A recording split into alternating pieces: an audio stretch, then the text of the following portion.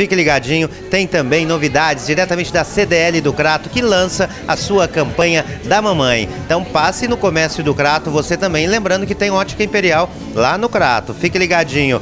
Temos também hoje Festival de Rock, que vai acontecer no Sesc em Juazeiro do Norte. Daqui a pouco o Antônio, que cuida da cultura no Sesc aqui em Juazeiro, dando todas as dicas para os roqueiros de plantão. E para encerrar o programa de hoje, Motocross. Sexto Motocross de Juazeiro do Norte, esse grande sucesso que você já vem acompanhando no programa Multimídia. Portanto, fique ligadinho, não saia de casa, não durma não, diretamente da Ótica Imperial, aqui no bairro São Miguel. Essa mais nova loja que deixou o bairro São Miguel muito mais bonito. Venha para cá você também.